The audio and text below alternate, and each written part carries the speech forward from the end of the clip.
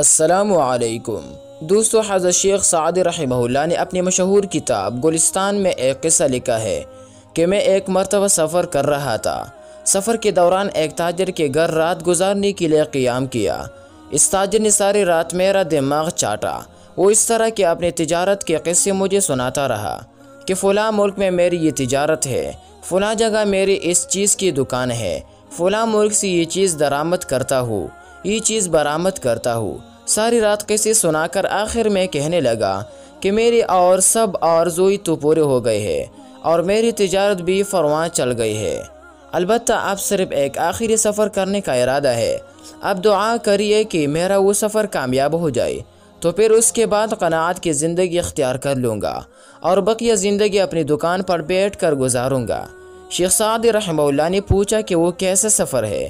استاجر نے جواب دیا کہ میں یہاں سے فارسی گندک لے کر چین جاؤں گا۔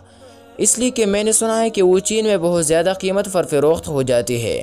پھر چین سے چینی برتن لے کر روم میں فروخت کروں گا۔ وہاں سے رومی کپڑا لے کر ہندوستان میں فروخت کروں گا۔ اور پھر ہندوستان سے فولاد خرید کر حلب یعنی شام میں لے جا کر فروخت کروں گا۔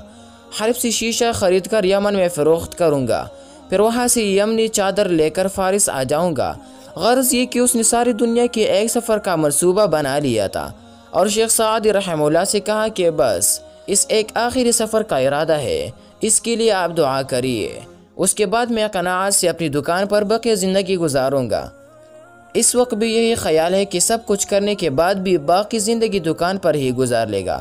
شیخ سعد رحمہ اللہ فرماتے ہیں کہ جب میں نے اس سفر کی درودات سنی، تو میں نے اس سے کہا کہ تم نے یہ قصہ سنا ہے کہ غور کہ صحرا میں ایک بہت بڑی سوداگر کا سامان اس کے اون سے گرا ہوا پڑا تھا۔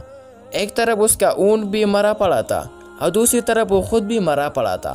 اس کا وہ سامان زبان حال سے کہہ رہا تھا کہ دنیا دار کے تنگ نگاہیں یا تو قناعت پر کر سکتے ہیں یا قبر کی مٹی پر کر سکتے ہیں۔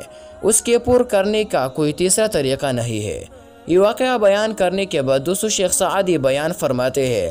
کہ جب دنیا انسان کے اوپر مسلط ہو جاتی ہے، تو پھر اس کو کسی اور چیز کا خیال بھی نہیں آتا۔ یہ ہے دنیا کے محبت جس سے منع کیا گیا ہے۔